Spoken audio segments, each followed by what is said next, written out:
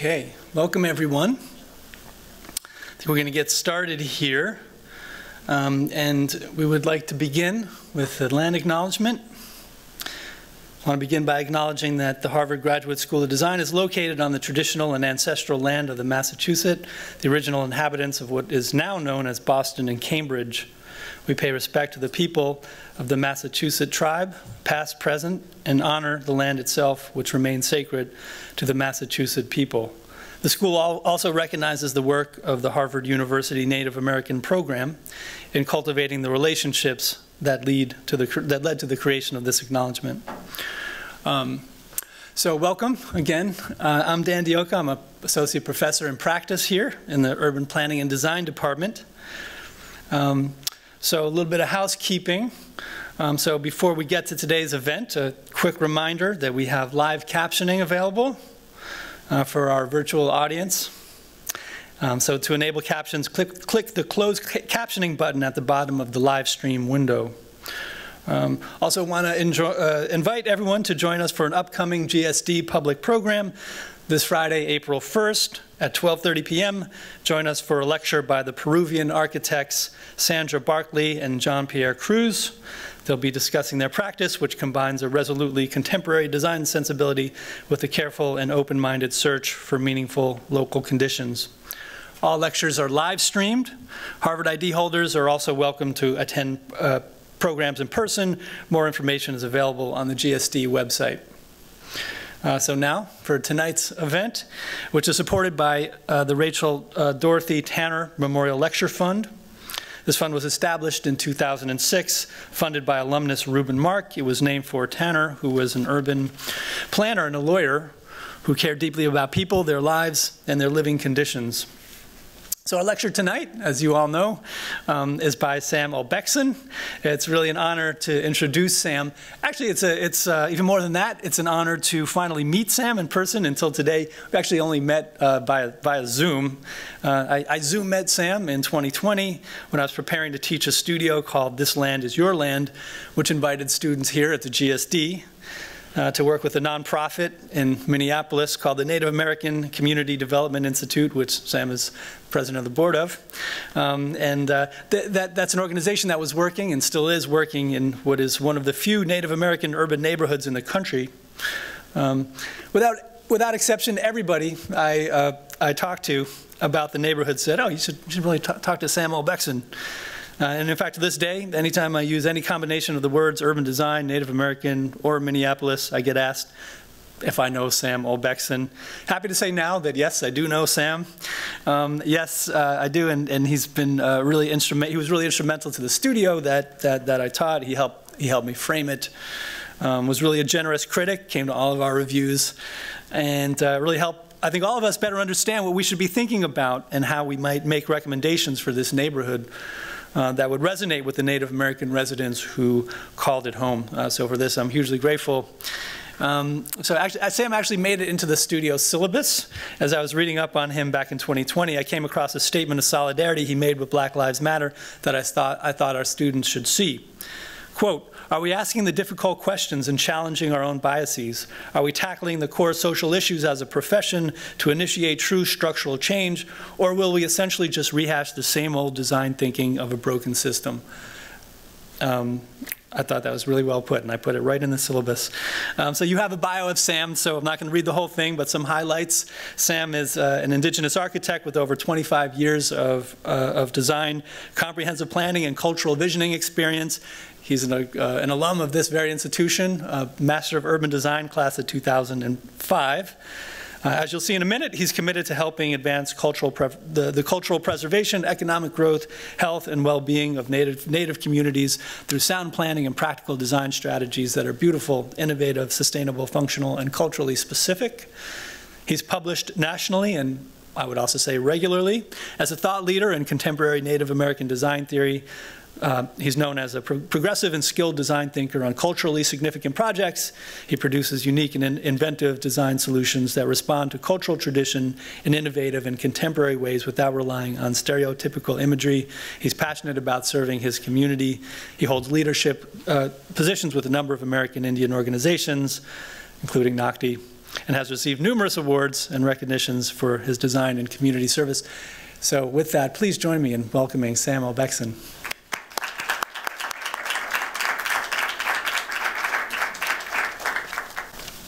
All right, well, thank you for that kind introduction. Um, it's, it's all true. No.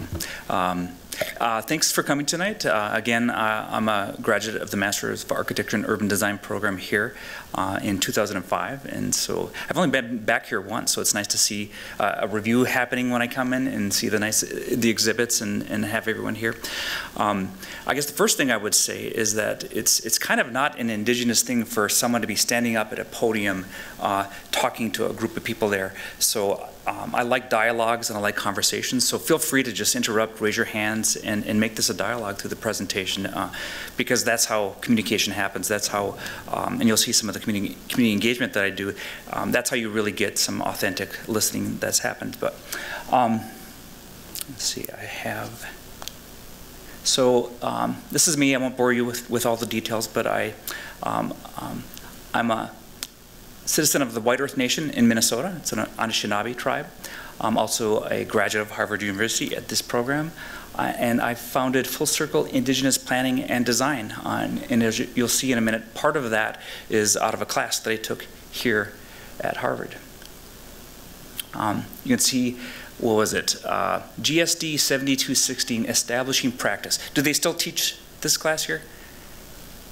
Uh, Sorta, okay. Well, my final project here was creating a culturally focused design practice. And so my talk is, is, is a little bit about my work. Uh, it's more about the work of the communities that I work with because it's really their projects. Um, but just the, the types of things I did after I graduated. So maybe uh, some, of, some of you will have similar paths in your own communities. Um, but the, the key question that we asked in this, in this class for me was, you know, what is important? Uh, and why is it important? Why am I even coming to graduate school? And part of the reason I chose the Master of Urban Design here um, was I already had a, a BArch uh, from my undergraduate, and I always wanted to go to grad school. It was just kind of this arbitrary goal of mine. Um, but as I really thought about it, um, my interest lied more than just individual buildings, that it's the relationships of buildings, it's how communities build themselves, it's, it's about tribal planning. And, um, and, and so the, the urban design program was great because it helped me um, just be, be, exposed to so many different uh, aspects of uh, how you get something done in the built environment because there are all the political things, there are um, everything from landscape issues to city issues to uh, rural to uh, reservation. There's a whole lot of things that have to do with uh, just simply government that actually get in the way or hinder or can help uh, design happen. Um, so after I graduated, uh, I worked here in Boston at, at a firm called Elkus Manfredi. It's a great firm worked at MS&R in Minneapolis when I came back. Uh, and then just five years later, go backwards, I founded Full Circle Planning uh, at the time. Um, and my first project um, was an ask by a community organization to do a pro bono project. It was a nonprofit. Um, and so that essentially launched my um, practice. I'll talk a little bit more about that. But, but since then, um, I've been an independent consultant. I've had a joint ownership with Cunningham Group, um, and now I am a single owner LLC. So I've gone through some different changes in how I've been um, operating as a practice. But it's all been um, based on that same fundamental question is why am I even doing any of this and what makes me um, get up in the morning? Um, I wanted to focus a practice that, that focused on community, culture, the environment, and seven generational thinking. Um, and uh, you know, how to, how to really make, uh, be part, part of projects that have true impact to indigenous communities. When I was in, in undergraduate school, um, an elder heard that I was uh, studying architecture, and he, he literally says, get in my pickup truck. And he, he, told me to get in his truck, and we, he zoomed off, and we were on the reservation, and he drove me up to the public housing. And it was, you know, uh, poverty. There was you know, cars up front. It was just not a great environment for anyone to live in, let alone the next generation of people. And he says, you have to come back and do something about this. So that was a commitment of mine to, to come back uh, to my community and to all tribal communities and, and uh, um, help. So um, a vision, a thriving, so my, my vision for communities are thriving, healthy indigenous communities connected to culture, nature, and beauty. Uh, My mission to reconnect people to culture and nature through innovative, impactful, and beautiful design. Uh, To build a design practice focused on social equity, environmental justice, and community building. So that was the basis of my classwork here, and it still is my vision, mission, and goals for what I do. The types of things that you can do as uh, an architect, as a landscape architect, as a planner, as an urban designer, um, uh, or all these, we don't have to read them all, but, um, but they're all about how do you build community. I come from a community that is really teeter, but was teetering on the edge of like extinction. Uh, There were forced governmental policies that were in place to try to get rid of us, to try to assimilate us, to try to uh, take away our land. So the, the whole issues of, uh, um, you know, beyond just simply we need a roof over our heads, um, there, there was cultural survival. Um, and, and one of the communities I worked with asked me, um, you know, what if we treated cultural survival as an emergency? Not just simply as this abstract thing, but what if, you know, all tribal communities actually focused on it as, as an emergency? And so that's why I kind of take my practice and all the things that I do. Um, and you'll see I, I try to uh, work in many different ways. Um, I um, do a lot of community engagement, I do a lot of design, I, I try to mix uh, architecture, planning, landscape. Um, and I'm fortunate enough to work with tribal communities all over the country. Not, not every place, um, but, um, uh, but there's still time. Um, and, and folks like you here are, are going to help be part of that. Uh, community engagement and authentic listening. That's, that's one of the uh, most important things I found working with tribal communities. Uh, every chance you get to present and speak and show your work and, and actually ask a client and, and talk, take it because you're going to be in the position to uh, be responsible for listening to people and actually making something happen. Uh, Native communities have a general distrust of our profession. Uh, and I found that uh, quite vividly over the years. Uh, there are too many uh, professional tourists, as one person said. They want to come in, they think, oh, cool, let's do a, a, a Native American project and, and make it cool. And, and then they build it try to get awards, and then they're out of the community. They're not there to stay and live with it and live with the, the ramifications of what they did. So truly understanding and listening from a uh, perspective is, is, incredibly important. So many uh, communities say, yeah, the last architect didn't listen to it at all. They, they just did what they wanted. So, so be mindful of that uh, as you're working. Uh, the other thing I did when I um, got back to Minneapolis, which is where my home is, is I immersed myself back into my community. I was a, a youth, a student, um, and, and within a couple years, I was on the board of directors for the Minneapolis American Indian Center, for NACD. Um, I'm on the board for the American Indian Council of Architects and Engineers, and I'm the uh, I'm uh, really active with the board of AIA Minnesota. So all of those things are really important to stay active in your community. Um, being part of something bigger than just your practice and, and the things around you is, is, so important to understanding the world and the things that we're doing. Um, uh, like I said, I'm, I'm, on the board of the American Indian Council of Architects and Engineers. Uh, here's a quote that uh, I often hear. They say, I didn't even know there were any Native American architects. Uh, but there are plenty. If you want to know any information about them, uh, please visit their website.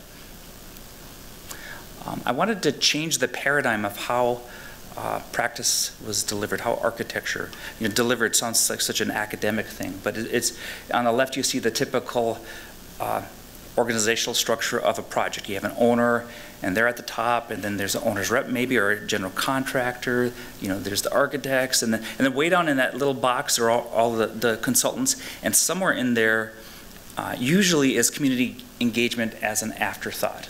Um, so that's the, the paradigm I wanted to change. And the model that I want to do is put indigenous values at the center and put that community uh, at, at, at, really the core of everything. To think about it from, you know, how, what, what do our traditions teach us? What, how do we design for the future? How do we engage indigenous professionals? Um, how do we create a different model that is less built on the hierarchical, linear uh, model of um, designing buildings or communities. Uh, so community engagement is incredibly important, whether it's all, you know, large presentations to communities, uh, small interactive design workshops. Um, but the important thing is to be meaningful and authentic and truly listen. Don't come with your ego, come with the, the thirst and curiosity to serve and, and listen and, and really understand what the needs of that community is. Each tribal community and each community anywhere in the country is unique. And so coming in as an expert has been a real challenge in indigenous communities because there are so many experts in many different fields that come in and say, I know what you need. Um, but um, indigenous knowledge, the collective knowledge of the community, uh, is way more important than any individual person's knowledge. Uh, cultural expression and design. I figured I, I should, uh, I, I made this title of this lecture a while ago, and I forgot to put in cultural stuff, so I, I put it in here. But uh, cultural expression is, is incredibly important for tribes. It's part of cultural revival, cultural survival. I mean, how do you look at your traditions? This is a project for the Puyallup tribe in Washington, and they are a tribe where their reservation is actually in an urban setting. And you'll see many tribes have the land that is least uh, valuable or, or, or, least desired. Um, and at the time, it was uh, their homeland is everywhere from the, the, the mountain to the sound, and so they have a river, the Puyallup River, but they live in a very industrialized area right now. Uh, and so, you know, how do you take that into consideration, that living in two different worlds about tradition and then contemporary society? So I worked with uh, the community to you know, help them express and, and decide what they wanted to express. What do they want to be as a community? Um, thinking about all the different uh, traditions of the landscape and culture of their area, uh, their current traditions, how they're keeping things alive, um, and how can you do that with architecture and material expression. Uh, in this case, it was a gaming project, um, which is one of the key uh, uh, mechanisms by which tribes now are, are you know, running their economies from. It's, so incredibly important. Tribes are now investing that money into their communities and schools and libraries and community centers. So this is still an important uh, economic generator. But how do you, how do you translate uh, culture into something that's maybe a little bit more modern? Um, I think you'll see in, in, my work, I don't, I don't jump onto the uh, feathers and eagles and, and, and all the kind of cliches and teepees that you see uh, off, oftentimes in uh, Native American design, or you know, just imagine what you would have thought in your head uh, if someone said, "What do you think of uh, about Native Americans?" And you might, you know, you might come up into your mind with some of these cliches, a teepee or whatever it is. But I try to take a more modern expression. But how can you abstract different ideas? How do you let local artists actually be part of the design process?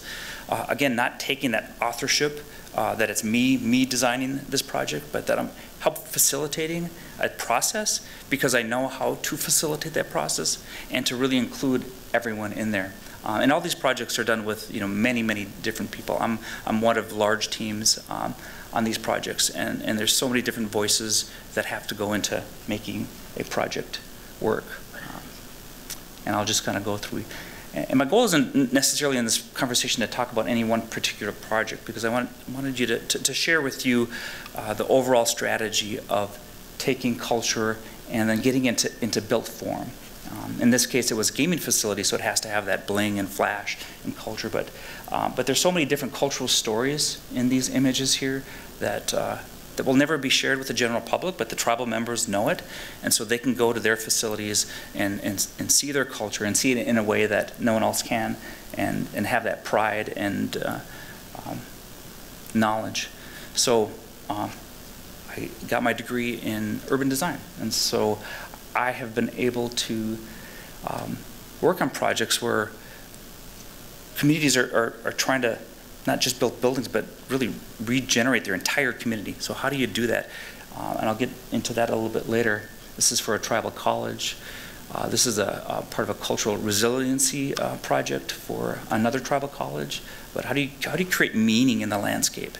Uh, how do you how do you design in a way that uh, uh, tribal college students, tribal members, everyone can can learn and and understand their own culture? Because a lot of that has been taken away a lot of uh, tribal people don't know their culture. And so architecture and planning and all that is a wonderful way, uh, one of the ways that um, cultural revival can happen. Um, environmental justice, this is a community in California where this was all uh, an old gold mine. And so it is incredibly polluted. Uh, people can't live on there now. So I'm part of a process where there are other teams that are working to clean up this land. And their reservation is the, where they've set aside for housing is that little spot. Uh, I don't remember how many acres it is right now, but um, but their tribal members are scattered throughout the region, and so they don't have a place to call home. So the tribal council wanted to create um, a community where culture can happen, where elders and youth can interact and live together, where there is um, community, and uh, and that's so important for any tribe's cultural survival. Here's another project um, that I'm working with. You can see um, in the middle of the screen a, a remnant of, of a slough. This area in California used to be the, the second largest lake west, uh, um, or the largest lake west of the Great Salt Lake. And farmers uh, came in and essentially irrigated it and drained it. And so now the area is, is just absolutely uh, not there. This tribe had their little square piece of land, which actually was only this part until they had to, they had to buy their land back. Uh, but they preserved that slough because it was a part of their culture and they wanted to respect and honor the landscape rather than see it as something that's going to help them uh, uh, generate income. And so as we're working with this community, you, know, you can see images of the slough here, um, but they really wanted their community culture to be expressed. How do you revive culture through uh, something that's, you know, you know, how many acres when we're designing 300 new housing units for their area. Um, and again, part of that community engagement process in any project is to, to listen. And these are the things that, that they said, and we distilled it down to three basic things connect and nurture our community, uh, restore and honor our environment, and center our culture. Uh, we're still early on in the process here, but, uh, but taking cues from their already uh, um, programs to to restore the slough, but then create some form of urban pattern that helps honor landscape as the infrastructure that they develop things. And then to create opportunities for culture to happen so that culture isn't just like in a little museum, it's not in one building, but culture is spread out through the neighborhoods, in the parks. Uh, how you enter this community is, is going to be um, uh, from a cultural way. All these are indigenous ways of thinking about the land and the landscape. Um, now I'm back to the uh, land acknowledgement and uh, uh, and thank you for doing the land acknowledgement. Um, it's incredibly important to have that awareness. Uh, I have mixed feelings about uh, land acknowledgements. Uh, I mean, they're, they're good, but then, you know, what is the real acknowledgement that we're doing? Because a slide before a presentation is one thing, but if you're really going to truly acknowledge you know, land, what would that mean? Um, I know that Harvard, at least from what I could find online, has 27 million square feet, 600 acres. Um, they have significant portions of land in the, the, the cities around here. Uh, Harvard has land ownership in Brazil and California, all over the place. Um, imagine the value of all that. If you add, does, I don't know if anyone even knows that, if that's a stat today, but if you imagined the market value of the land that we're standing on right here, what would that be? And that's, uh, and then think about the endowment. Um, if you're really going to truly do a land acknowledgement, then you should invite any Native student in the world that wants to come here uh, for free to uh, come take classes and get an education, and then go back to their communities and do the work uh, that I'm trying to do. Um, that's, that's kind of a way to really think about it. Really, if, if you really think about the land and, what you got out of stolen land, um, that might be a little bit more impactful way of doing that. And know, know the history of the land. Um, uh, one of the interesting things about uh, Boston is that when I was here, just before I graduated, um, it was actually illegal for me to go into Boston. There was a law that had been there. And it was one of those archaic things, but it was still in place, that it had never been taken away, that it was illegal to, for a Native American to go into Boston until 2005. Uh, And um, the reason why it changed is some conference was going to be here and they were going to spend a lot of money uh, and then they decided to pull out because of the law. Uh, and then the city decided to, to, to think about it and change. And so finally, so I can come here not right now. I haven't, I, I didn't have to worry about getting arrested on my way to the GSD today. Um, but if you think about, you know, where we are right now, we're in this building, um, and you think about all the land that, that is out there, um, it's important to understand that, you know, so many different peoples were here, and I won't go through, you know, the whole history of all this here, um, but this is the type of things that we learn in our school books, that there are these kind of big, large culture groups of indigenous peoples around the country, but really the complexity is, way more uh, uh, nuanced, and there was trade and there was overlapping and, and uh, indigenous cultures here were incredibly sophisticated and had uh, economies and uh, many different cultures. My tribe, Anishinaabe or Ojibwe and Chippewa, um, is this is a, about where about 200 years after uh, um, colonization started to happen, where uh, Ojibwe-speaking people ended up. This is the amount right now that is uh, designated as uh, tribal land of what is left there. So this is the reservation system in the United States and in Canada. And that's my reservation, White Earth Nation. It's in northern Minnesota. Um, and then if you look at the entire country and you look at what, what's actually left in terms of uh, land, um, that's, you know, on some kind of book set aside, uh, it, it's just barely anything. Then you look at the populations, um, you know, less than, most of the country has less than 2%. Uh, and, and, I would say, you know, that probably less than that. Um, but you can see that uh, reservations have been a way to both uh, keep Native people sort of in a place, but it also, if you think about it from the flip side, it has been opportunities to uh, uh keep our culture alive. Um, but the important thing to think about when you do an, a land acknowledgement, um, other than Harvard offering free tuition, um, is to realize that right now where you're sitting, a, a family lived. There might have been a burial right here. Um, people got married, people died, people lived, people hunted, right where you're standing. And, and most oftentimes people just walk around Cambridge and wherever you are and don't even think about that. And so having that realization is incredibly important if you're going to think about respecting uh, land. And it's not, again, uh, a statement at a beginning of some sort of event or lecture. Um, uh, again, my Ojibwe-speaking tribe, probably areas there. Uh, you can see the, the extent of the area zooming in, uh, I live in Minneapolis, and that's where I, I run my practice. Uh, White Earth Nation is where I'm enrolled. I have a lot of family on Leech Lake as well. So those are the two reservations that I've called home. And so this is the outline of, of each of those. And the, just for reference, the headwaters of the Mississippi is right here.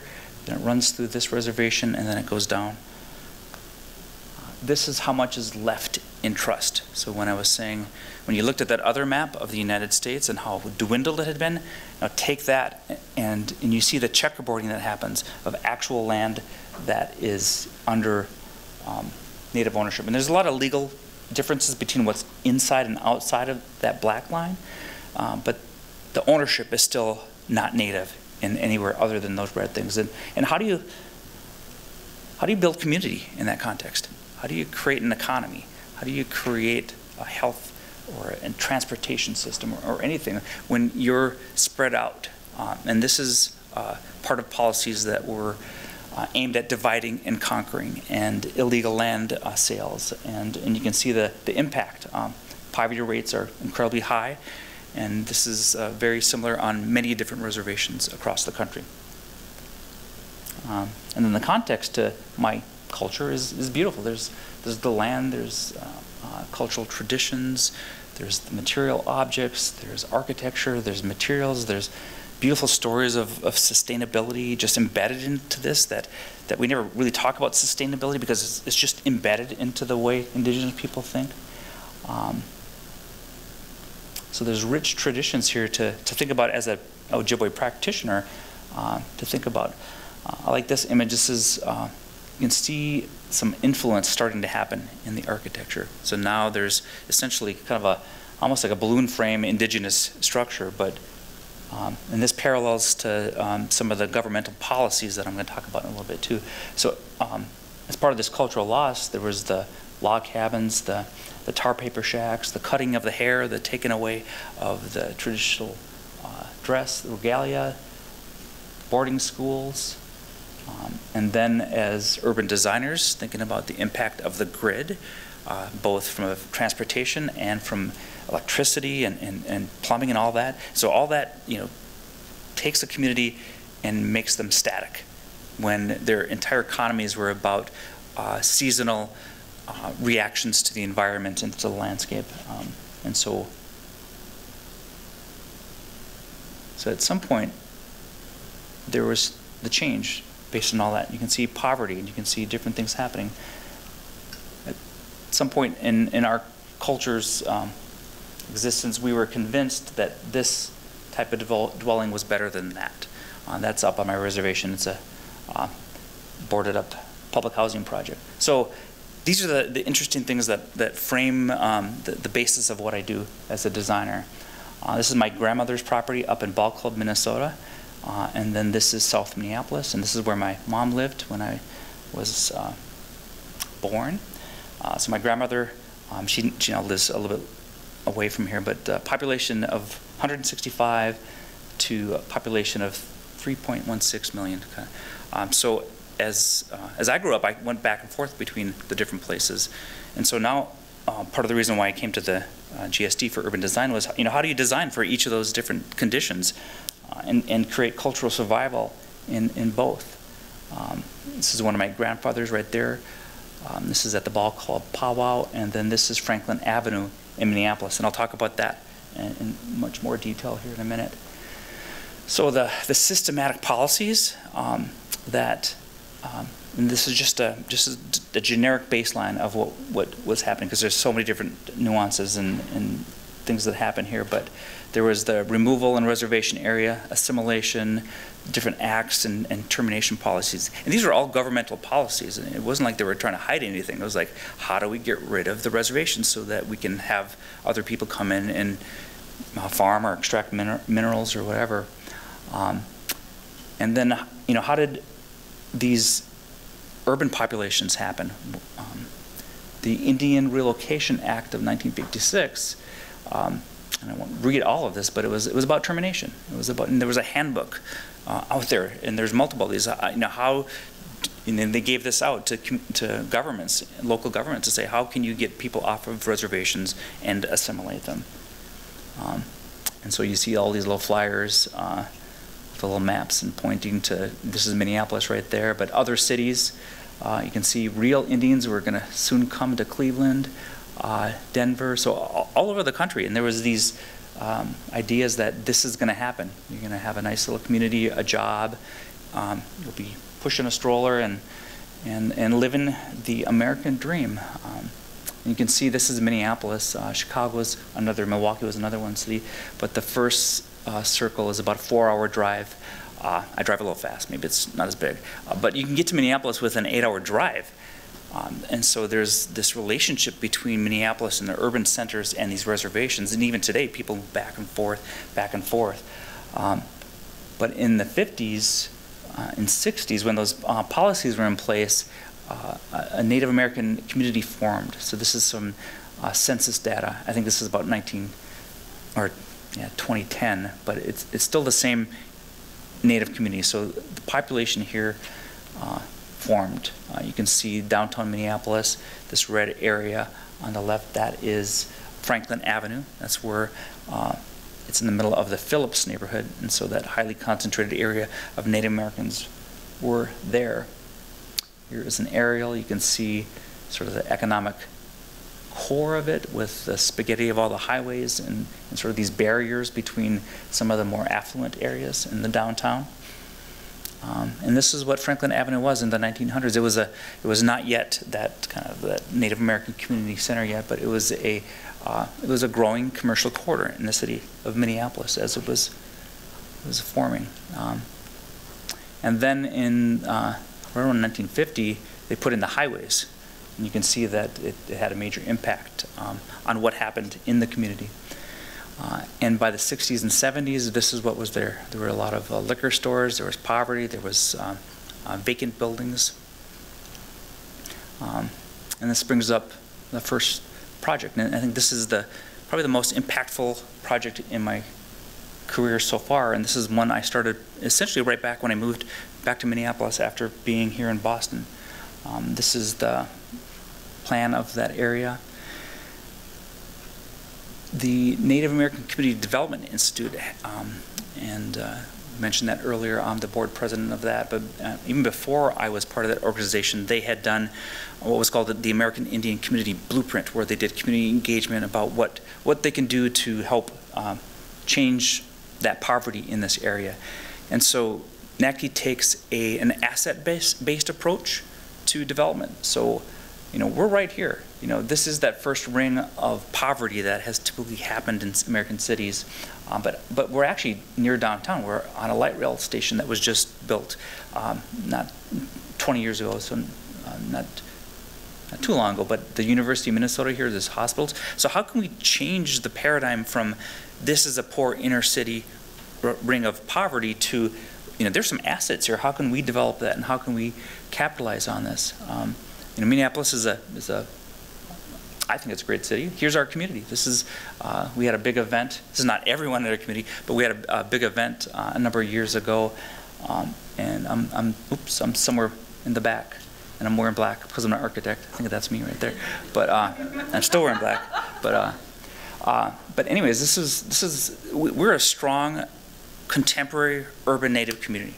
We have doctors, lawyers. We only have two architects in the state of Minnesota, and I think in, in the region, there's only two licensed native architects. That needs to change. Uh, Harvard should give free tuition uh, to native. I, will say that a couple more times throughout this lecture, but but it's a strong, resilient community. There's a lot of great organizations that are doing great work for the community. Um, and right when I got back, you know, straight out of GSD, you know, we're supposed to do these maps and, and do circles and diagrams, and you, don't really know what they're what they're really for, but you know. Uh, but once you start like really get into this and you understand like the politics and all this, they start to make a lot more sense. Um, but just did some early visioning uh, of you know what could this be? Taking some photographs and photoshopping, just the eyewash that happens. Um, but this was just uh, after they had done the community blueprint, and it started to visualize like what this place could be. Uh, it was incredibly helpful. Um, and, and, and also think about the time scale it, it takes to change a neighborhood. Uh, I am incredibly fortunate to be able to have worked on all these different projects within this zone.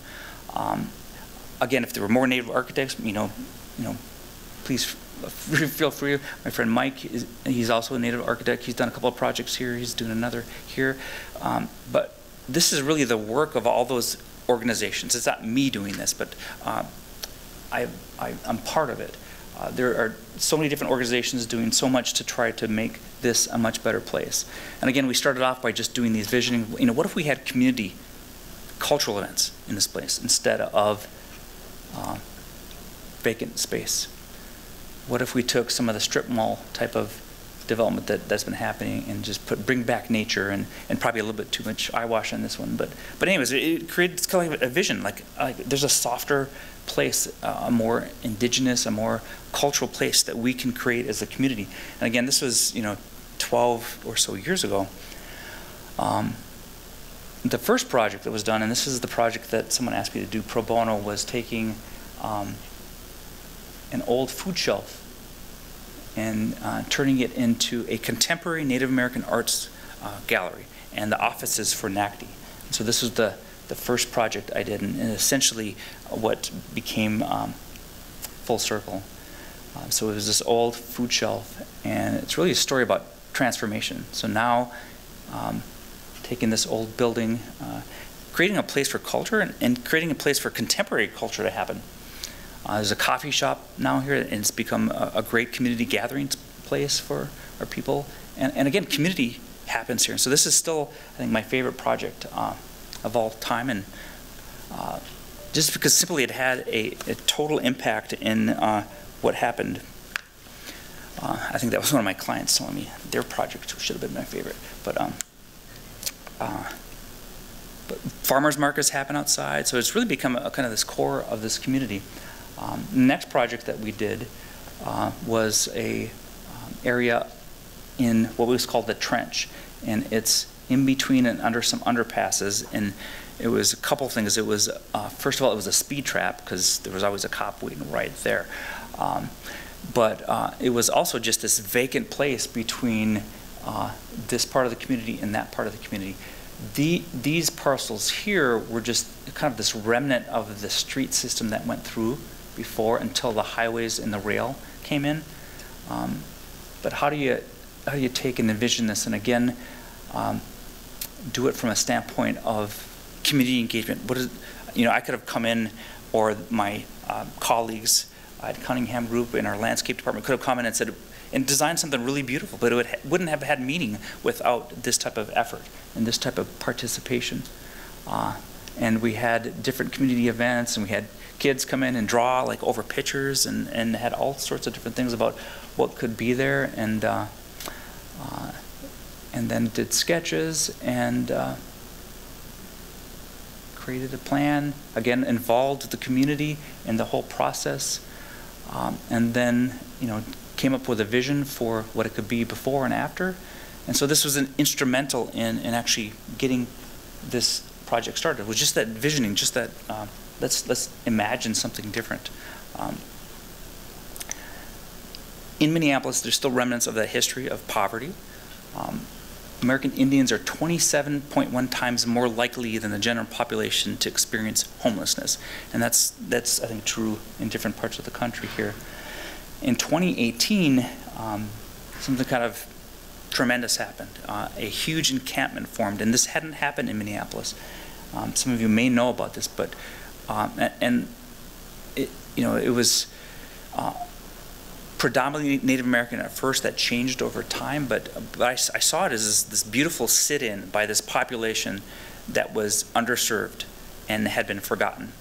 Uh, the indigenous people um, who were experiencing homelessness didn't feel welcome in uh, the, the, the typical homeless shelters that were there. They didn't allow families to go, homeless families to be together. They didn't allow homeless couples. Uh, they didn't. Um, um, they didn't have cultural activities. So people chose to just um, be out in tents. And so um, after you know how many decades of this happening, um, this encampment appeared and it happened in probably the, the spring of that year.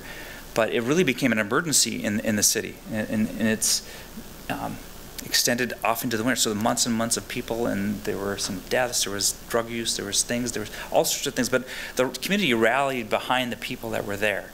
We didn't just like run, get a bunch of buses and cart them all off and, and say, you, you know, you can't do this. Uh, we tried to look for a solution that was um, something about that was culturally based, that was about providing specific cultural services to these folks. This is where it existed in the context of the cultural corridor. Uh, Red Lake Nation, which is a tribe in northern Minnesota, owned this property right here. Um, and we were just starting uh, to design a, a, an affordable housing project right there.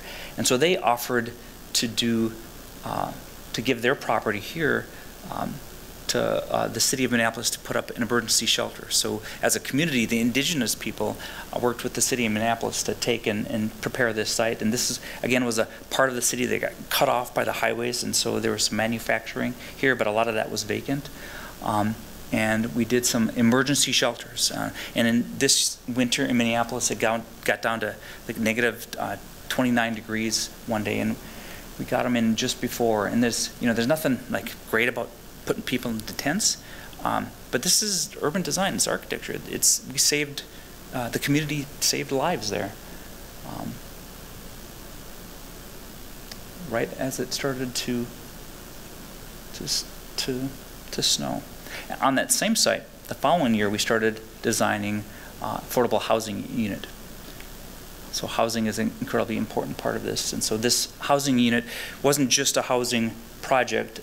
They, the Red Lake put their uh, governmental offices in it.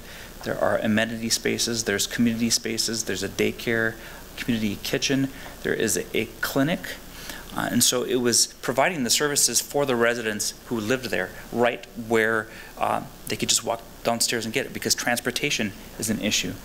Uh, and as the, the, design team worked on it, and this was with the Cunningham Group, we, we wanted to bring uh, Red Lake, the reservation, the, the colors, the beautiful things about Red Lake, down to this kind of dilapidated part of the city of Minneapolis and really try to take into you know, cues from nature, um, thinking about ideas of domesticity, culture, how do you, how do you be creative with it in, in more of a, a fun but a, a modern way? How do you address uh, the, the committee wanted their clans uh, animals to be um, expressed in the architecture. Um, and uh, we, we, we went from this uh, to that. So people now are hosed. And so this, uh, again, is just outside of Minneapolis. You can see how the highway cuts and the train tracks, and this used to be those dilapidated old buildings, and now there's uh, housing with health care, community cultural space, gardens, uh, all in the context of the American Indian Cultural Corridor. You can see this, uh, again, this is Franklin Avenue right there, and this is that piece of land that we've, that we reclaimed. And, and this, this area here was for sale for, for many, many years. This project here across the street from it is the next project that I'm going to talk about real quick, um, Homeward Bound. So there was this old cardboard manufacturing, or they, they put together cardboard boxes. Uh, and again, that need for homeless shelters didn't go away once we did the affordable housing because that type of housing model doesn't work for everyone. So you have to provide housing choices for everyone. And so we were able to take this old um, cardboard factory and create a place for housing to happen. Again, another transformation of the space. Um, artists came in and did murals on the walls. Um, another project um, is Migizi Communication. This is a, a youth uh, program, and I was actually in this in third grade in, in Minneapolis. And it was a great program that takes youth uh, and gives them uh, job training, uh, things to do after school. It provides them with um, community. Uh, and this is another pro bono project that I had done. I, they had gotten this um, storefront um, in South Minneapolis. And, and so we did a uh, design that gave them a shop, gave them a media space where they could do um, you know, practice doing interviews and and flexible space here, meeting rooms. You know, not not, you know that complicated of a project, um, um, but it was a place for community to happen. And so this is our opening night. We had a big uh, celebration. Uh, this is uh, you know, again the uh, first night, they came in and they put a whole bunch of artwork and filled it with furniture. Um, and you can see that you know it was part of this old structure that had all these old these old beams. We put in uh, the new um, ductwork and and opened it up. Um, and then George Floyd was murdered in Minneapolis. And so I, I know we all know the the, um, the history of that, but Minneapolis became the epicenter of uh, an uprising. Um, and this is the same view uh, the day after that uprising. And so this organization, this youth organization, um, uh, everything that we just built and just opened up a few months earlier was gone. And this wasn't targeted by the uprising. It was near the police station where the police that were dispatched um, from uh, was a block away from this. And, and embers uh, went on the roof and, and burned it. Um, and so the, it, it wasn't targeted, so I just want to make that clear. But the impact is that the organization lost everything. And so this is this is the next morning. We we, we couldn't get in. We you know the building was still up, um, and this is, this is, I took this photograph. You can see the building right there. You could see a little bit of smoke came in, out of there. So we had a little bit of hope left. But then when we got into it, we finally realized it was it was lost. So through this pandemic, this is where their building was over here. Uh, we found a new structure for them and got an old, another old existing building. and uh, during the pandemic did, again, community engagement. We had it live streamed on Facebook for people who didn't want to be there in person, but socially distanced, and, and we got a lot of great ideas from the youth. And the youth were really instrumental in uh, helping design this facility. There is uh, the existing building, um, and this is a new addition that's going to hold their workshop and community gathering space. But they really insisted on it being a sustainable project. At first, we were just trying to do, all right, let's just get into the building and, and do as, as little as we can to just get you operational again. Um, but they insisted, no, we're, if we're going to do this, we're going to do it, do it right. And so we went through this process of taking uh, their ideas, looking at culture, how they operated, a little rendering of that. And this is us about three or four weeks ago doing the groundbreaking. So another story of uh, resiliency and kind of the community coming back um, to, to rebuild. Um, you know, how do you think about healthcare in the context of, of an urban Native community health, uh, recreation, um, education, all these things are important parts of indigenous communities and Native American Community Clinic works in a, in a very cultural way. So we had this site of this old Dollar Tree in this, um, this old uh, strip mall. And one of the renderings that I had done uh, you know, 12 years ago is now being done here. So it takes that, that long to get something like this actually going. So we're taking, again, changing this and, providing a, a new way of thinking about uh, healthcare, and to do it from a kind of a, modern indigenous perspective, modern, um, you know, not, not, not a huge budget, but this is uh, an opportunity to create something that uh, provides dignity for people who are going um, to get health healthcare, to provide, provide a, a, place where you can get healthcare in the context of culture, which is so important to uh, healing. We're actually taking a little bit of shift in what we're doing now, and we're going to do a similar project where there is housing over the clinic. So before we were essentially renovating the strip mall, and now we're going to go ahead and just rethink the whole property and do uh, a much more powerful project that, that honors their goals and their missions from an urban standpoint. This is the American Minneapolis American Indian Center. And just interestingly enough, this was the site of my undergraduate thesis. So I, I have the honor to do my thesis project. Uh, it was a building built in 1975. And you can see the kind of the, the big, heavy, uh, almost Corbusian nature of it, but uh, a lot of angles, a lot of kind of wasted space. But over the years, it's become um, run down, I'll put it that way. It, it doesn't have that presence on the street. There's a, you know, a lot of activity that shouldn't be happening. There's a lot of repairs. Um, and so we're creating uh, a way to bring it more um, pedestrian friendly, bring it to the street, to have uh, community space inside of it. Again, this was the old building right there, and so now we're uh, infilling essentially what was unused space. Uh, staff in the community were really uh, adamant that all the landscaping have cultural stories to it, which is great. So designing from not just the building, but cult, you know, culture comes in landscape and interior design, uh, landscape. Uh, had many different community meetings. What are the most important cultural plans to have in this? Um, and then just creating space for culture to happen, to do it in a little bit more modern way. So these are kind of preliminary renders because we've been in the fundraising process for about five or six years now, and so we're still um, aiming to get under construction here within the year. But um, one of the important things about this project is during the pandemic, there we have a clinic. This is, I mean, a clinic, a, a cafe. This is how we're envisioning the new uh, cafe. Um, but we were able, we, even though we had to shut down the cafe, um, we were able to uh, keep it open to still feed the elders throughout the whole pandemic. So we didn't have the community coming in anymore, but we were able to send food out to the indigenous elders who used to come to the center for food. Now we were able to bring them um, food themselves. Uh, another important kind of mix of planning and design is this project, Wakan Tipi Center. Right here, there is um, a very important Dakota cultural site. Uh, it's part of a essentially creation story. This was uh, up along here. There are burial mounds. It's essentially a cemetery. You can see the railroads right here.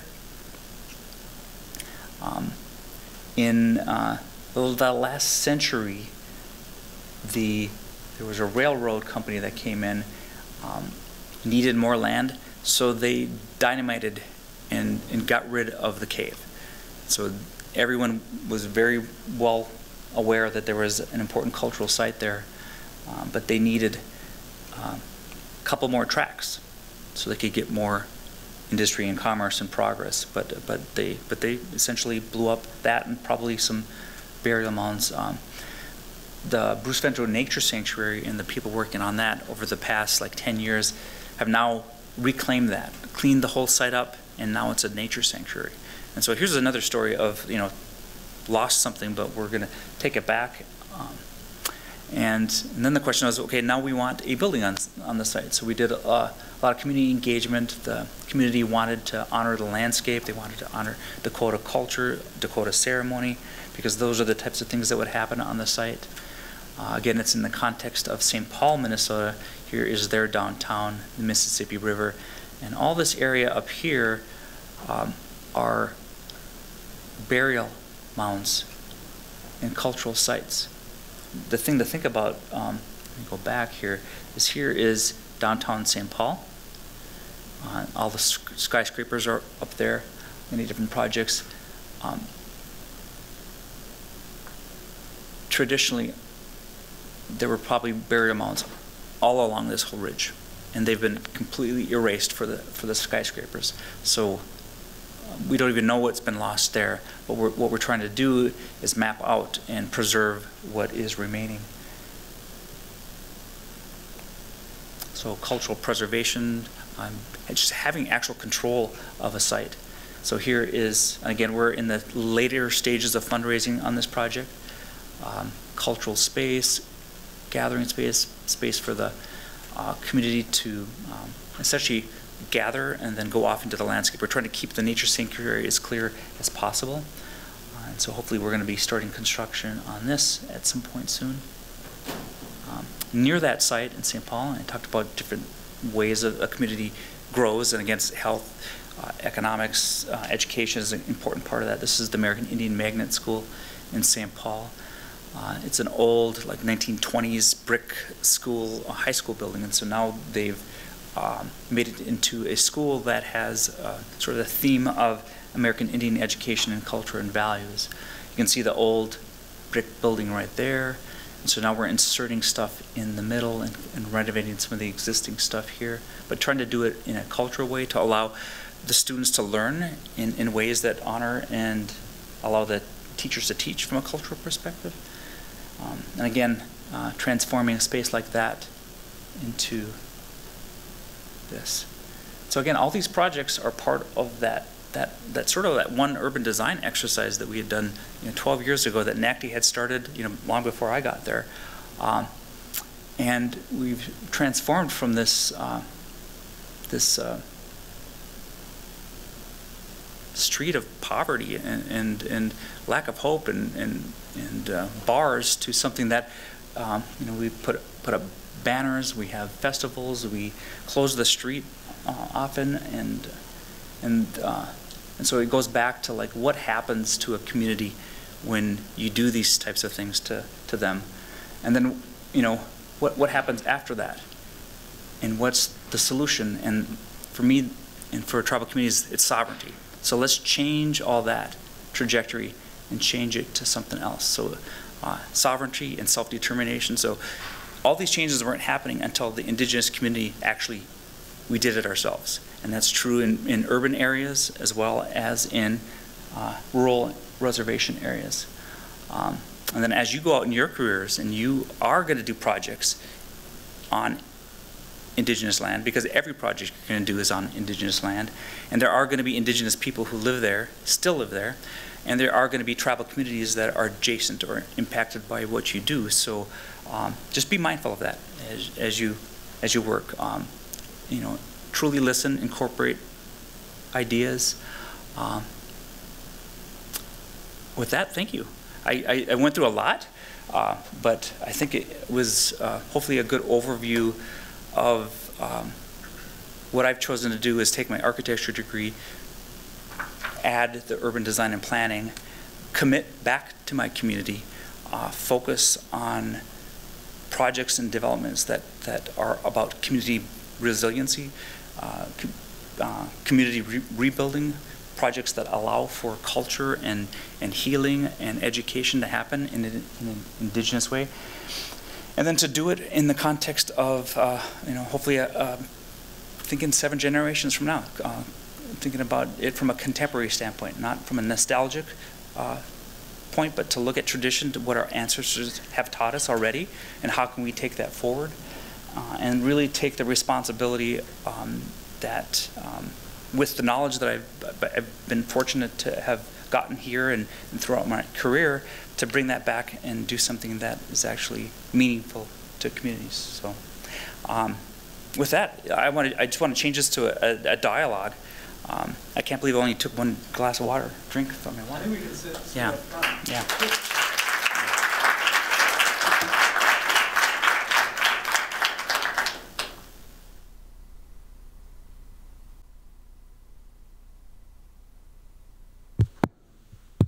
Yeah. Uh, thank, thanks, Sam. That was not only inspiring, it was, I think, uh, refreshing um, the the the closing comment, truly listen. You talked about not bringing your ego into a project. At a certain point, you refer to your favorite project because of the impact it had. Those aren't things we hear every day in Gund Hall, unfortunately. So thank you, thank you for that. Um, I want to, you know, mostly turn it over to the audience, and, and I know we've got some some questions here um, on the live stream, but maybe I'll just kick things off with the question. I thought it was interesting. You started by by saying, "Well, this this this format is in some ways unfamiliar. You're at a podium, you're speaking to an audience, and in some of the communities and some of the cultures you work in, that's unfamiliar."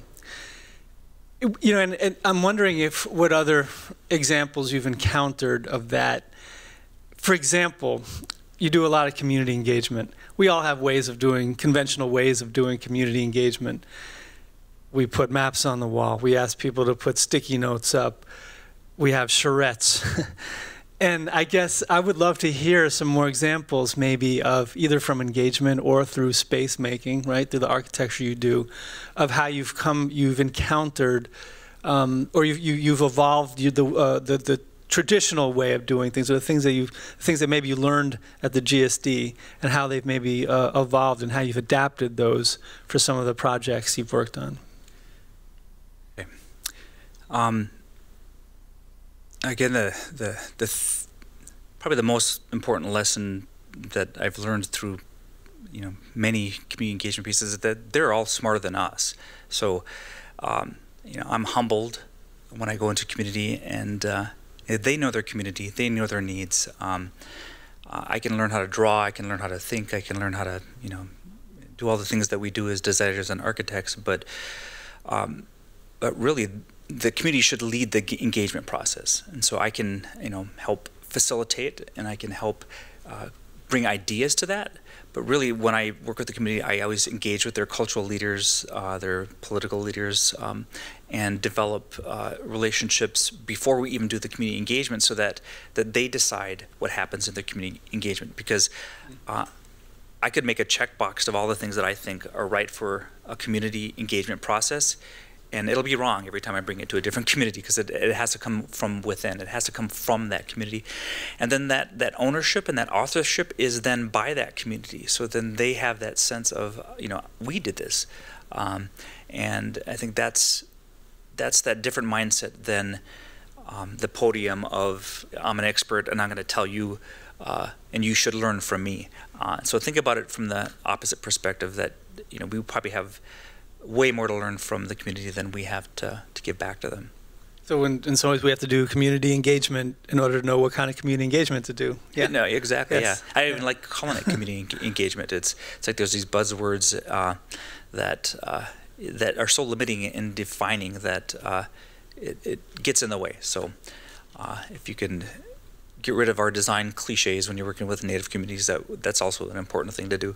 Yeah. Um, Thanks for that. So um, let's uh, let's open the floor for questions. I think there's a, a microphone that's being passed around. H. Hi, Sam. Thank you so much um, again for being here and for sharing your work. I was wondering if you could speak to some of most of the projects you showed us were um, in an urban context, and I'm wondering if you could share a little bit about what what maybe the biggest challenges or or differences are between um, working on projects for kind of urban indigenous populations versus projects that are either on reservation land or in rural contexts.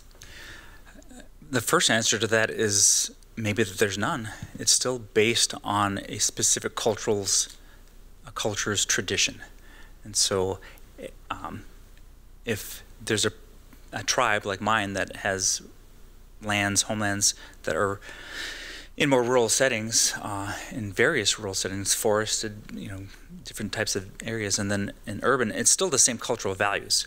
Uh, so that's the that's the kind of the baseline. The, and then there are the community goals of um, bonding, about community strengthening, about education, about economies, about preserving the environment. Those things can be applied. Um, then the second answer to that is is is it it is different when you have um, urban conditions because there's, there's all the infrastructure of, of urban conditions. Uh, for example, on Migizi's project, we're trying to do um, a vertical geothermal well, but uh, if you've ever had to deal with the city in terms of locating a well in in an, in a, in a city, there's just so many different hoops. There's there's different regulations, zoning, et cetera, in an urban setting where you don't control the land. On reservations, uh, which is trust land, which is a legal status, uh, tribes are sovereign nations, so they can say we're going to have codes or we're not going to have codes. They, they usually adopt their local codes, um, but they have the power and authority to, to govern their own community. So it can be easier uh, on reservation land to make certain decisions than you could within a small property within uh, another different uh, context.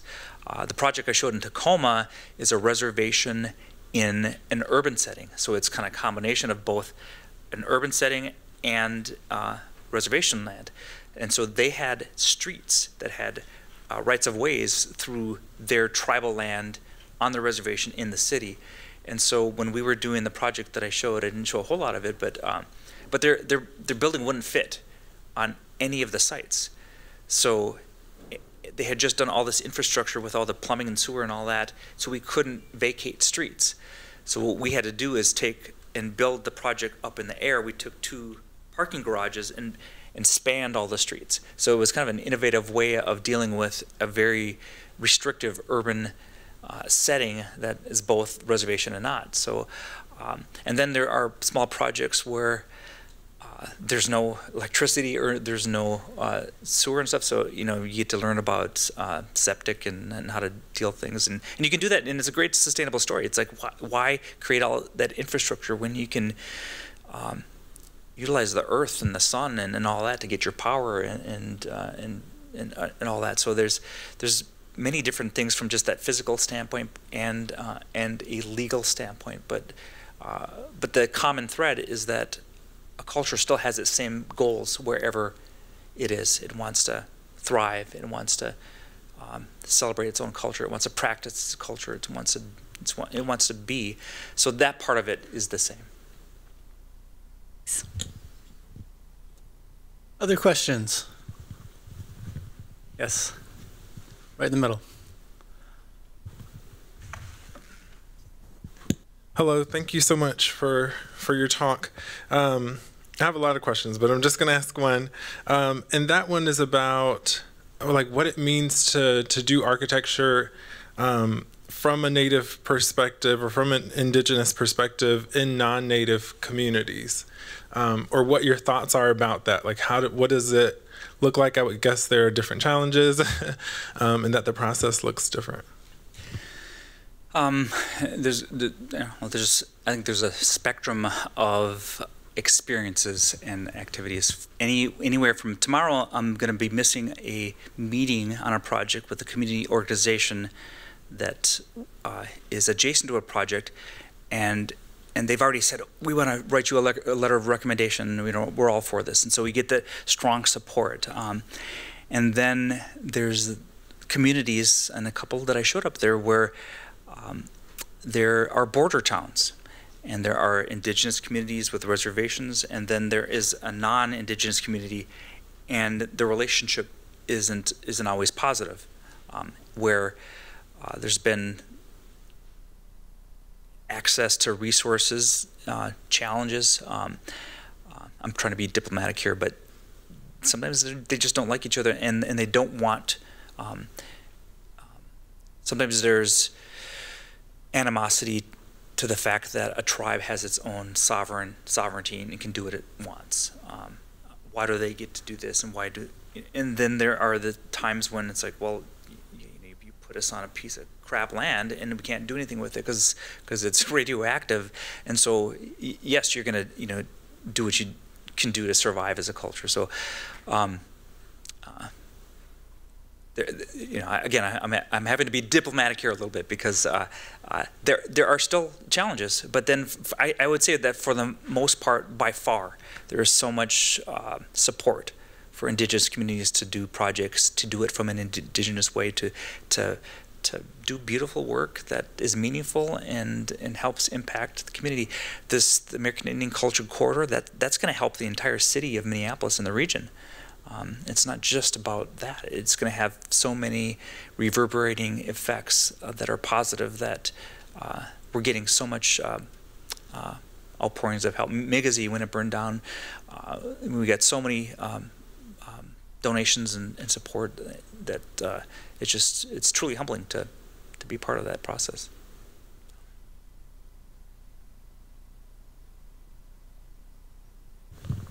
Hi, Sam. Thank you again so much for your presentation. Um, the question I have for you is I think with a lot of the pressures that planners are facing, I, I think so. I'm, from New Mexico, so I grew up with indigenous, I, I grew up with um, like indigenous design examples throughout the state. But I'm seeing more and more, like it, especially in the GSD, like in more in the East Coast, and like not where I'm from, um, folks turning in education or in planning to indigenous practices as like sources of knowledge and, and sources of like what would an alternative to what we have currently be. And um, i guess one of the questions that i have i was really struck by the, the term you used of professional tourism.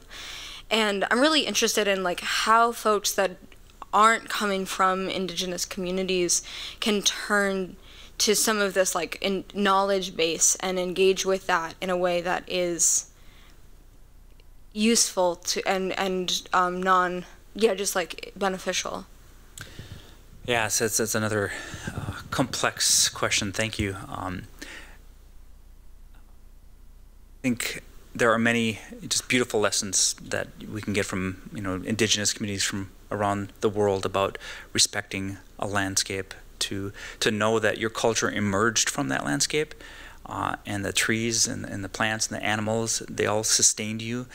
Uh, and if you harmed that, then you were harming yourself.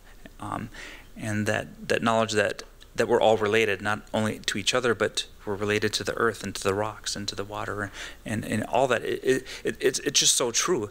Um, and there, there's so much to learn. Um, there's, in addition to professional tourists, there's also culture shoppers that has been a, a challenging thing in our communities because there are oftentimes people who romanticize indigenous peoples and cultures and and they take from it. And so it's a it's a one way uh, I'm going to take this. There are um, there's been new agers there's been there's different sort of subcultures that uh, have a fascination with indigenous people and romanticize it to the point where it waters it down and it it, it just dilutes it to this uh, kitsch that is harmful and so sometimes over respecting or over glamorizing something um, is a is really can be a harmful thing that happens, especially if you're just taking from it. If, if you're going to say, um,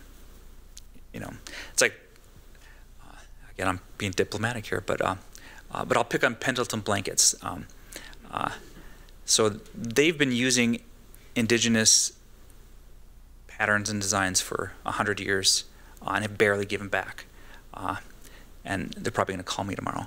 But uh, I said that out loud. But th- that that's that, that's one example of that. Um, there is a an alternate business that's owned by the Snoqualmie tribe um, that is now uh, in the same state, uh, providing indigenous indigenous um, artists to to sell their stuff. Um, and so, if there there's there's alternatives to the, those kinds of things, um, but you think about like you know, borrowing from design or borrowing, you know, um, there, there's just Urban Outfitters had in Target. You know, anyone bought anything called Cherokee, or you know, there's there's so many different things where that culture taking is one way, but for all those people who are taking inspiration from culture, they're not they're not living the hardships of the people that created it.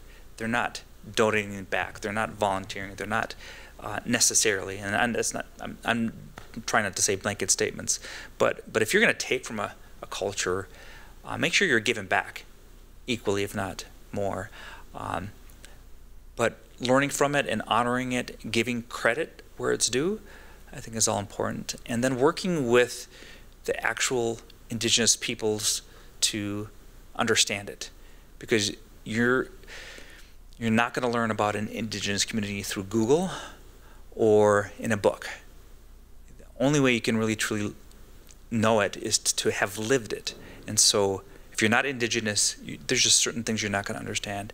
Um, and, and respect that. You got to respect a culture's space to let them exist and uh, and not appropriate. It's called cultural appropriation, um, and uh, and I could I could go on for a couple hours on that. But just uh, I, again, it's about respectfully listening, getting it from a source, giving back, and honoring and giving credit is that's some of the issues surrounding that. But it's a, it's a very good question.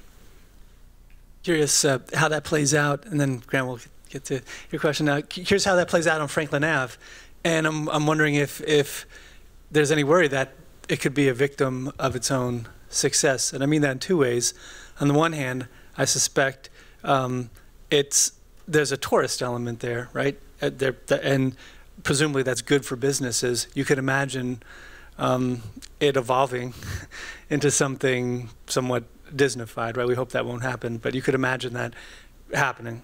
You could also imagine it just becoming a really great neighborhood that people want to live in and being worried that property values go up. There's a certain amount of gentrification. Maybe there's pre retail pressure. In fact, this is a question that a number of people uh, on the on the live live stream want me to ask.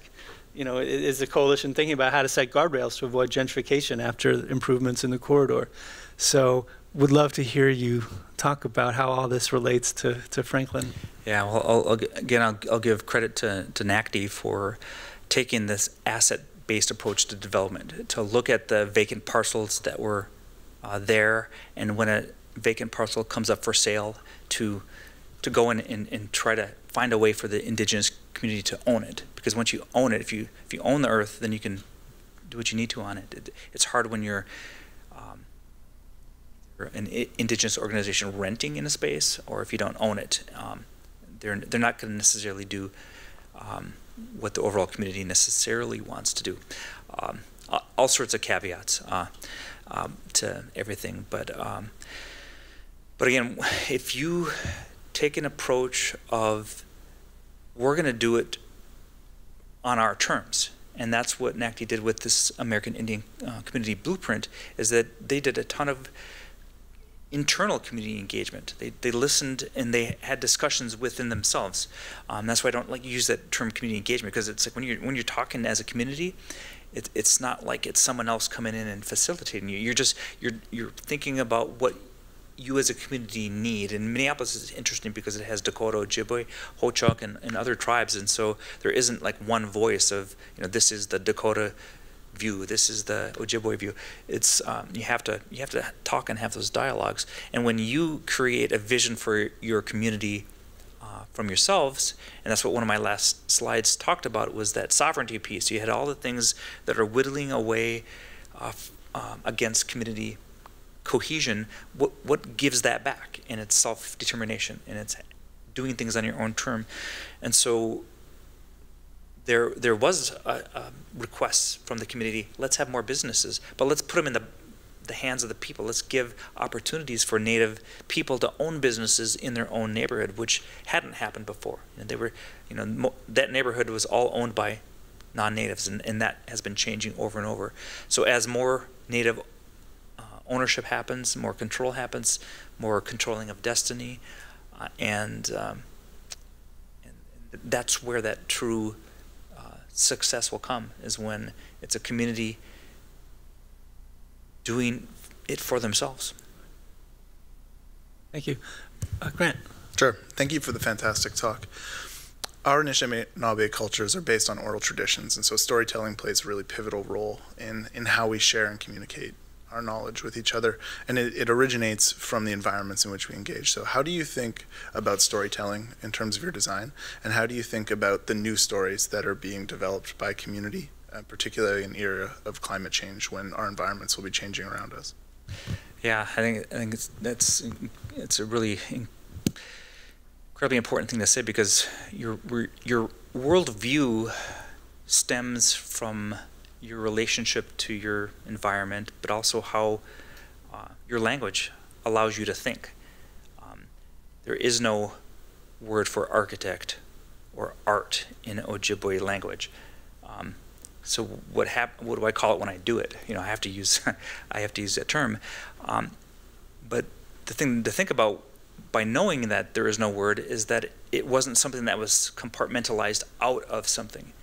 It, was part of everyday life and survival was to to, to live and, and, and be related to everything around you. And so when you understand truly that everything is related, you understand that your impact in one move is going to impact everything around you and come and come back. Um, and so, in, in, the context of storytelling uh, and oral cultures, um, uh, and, and, again, it wasn't a written culture either. So, I mean, we're using the, alphabet to to to write uh, indigenous languages. Uh, some indigenous languages had uh, writing, but uh, um, but all these things just are a reminder to look back at tradition and ancestors and understand the knowledge that they're, they've provided to us um, from the standpoint of how they might have thought about it. Um, um, one of the ways we've approached design, um, and I've, i was a principal at Cunningham Group Architects for many years, and one of our sayings was every building tells a story, and that really applied to, to tribal buildings because tribes wanted to express their culture and they wanted to express uh, a deeper meaning in the projects that they that we did, and, and, as well as in the urban design and landscape piece of it as well. So the the stories are told from um, different perspectives: how you shape a building, how you, um, integrate it into the landscape, how you design a community. Um, what what are some literal things that you do? What are some subtle things that you do? Um, and it's, it's a very uh, complex thing because, again, every culture is different. They have their own stories, they tell it from different perspectives. Um, and you have to go into each community and understand what is the story that they want to tell and how do they want to tell it. Uh, what do they want to keep to themselves? There's many sacred things that they say we can't we can't do this. Um, we can't express that in in um, in our design because that's something that is reserved for just the community. Um, and again, it's very nuanced and it's a great question, and you're going to have a wonderful time trying to uh, figure that out. It's eight. Do we have time for one more? Okay. Um, maybe two more. We'll see. Uh, there's a question on the on the live stream. What uh, that that's an interesting one. What are your feelings about non-native architects designing dwellings for indigenous populations? And that is a question. I, I'm curious to hear your answer about that as you know, I taught a studio where I was working with a dozen mostly non-native students, and often the students were wrestling with this question. I don't live in this neighborhood. I'm not native. Why, you know, why am I uh, des- designing things or making any proposals at all? Um, so I'd love to hear your, you know, your candid thoughts about again this question of non-native architects designing dwellings, or maybe more broadly, doing planning, doing urban design. Well, another way to think about it is when I was working here in Boston, I designed um, with Elkus Manfredi uh, a uh, multifamily housing project in Medford, and I bet you none of them know that their housing was designed by a Native American. Wouldn't that wouldn't that kind of blow their minds? So it goes both ways. right. So, uh, but uh, but you know, there's there's not at this time enough native architects to do every native project. Uh, I get uh, I get a little overwhelmed with the opportunities that come my way, and I'm very honored and humbled by it. Um, and and so we need people to help. We need you know partners to help build. You know, hopefully at some point every community is going to have their own architects, their own lawyers, their own educators, you know, et cetera, everything. Um, but for now, that's not the case. Um, I would say to anyone working with a tribe is to again maybe some of the lessons I've already said here is to just just honor and respect and st step back and give space. Um, you know, it's always interesting when I go when I um, compete for a project through an RFP process. It's an indigenous project. It's a Native American something. Um, and I'm going at it, and there are other non-native firms also going at, at it against us. Uh, and uh, oftentimes, me and my friend Mike Laverdure, uh, he, uh, we go after similar projects, uh, and um, and then sometimes we don't get them. you know, the the two native architects in Minnesota, and then someone else gets it. So that's always like a, like a head scratcher. Um, but uh,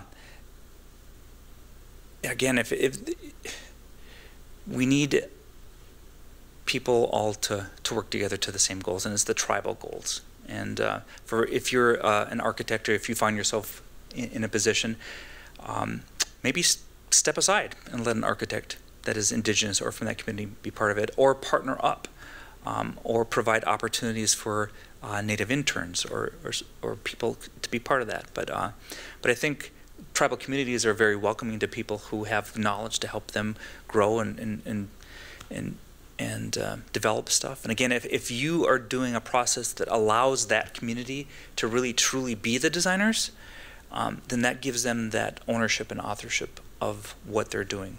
Um, but never never go and work with the native community to try to win an award or to, to blow a budget or to, to over design or do something for any kind of egotistical or self-serving purpose because um, you know that's if anything it's unethical and it's not really doing anything to help that community. So um, um, there's ways to serve and you can do that as an as an ally. It all comes back to checking your ego and uh, really focusing on the process um, and stepping aside when needed um, I think that's really good advice. I hope uh, everyone is taking notes.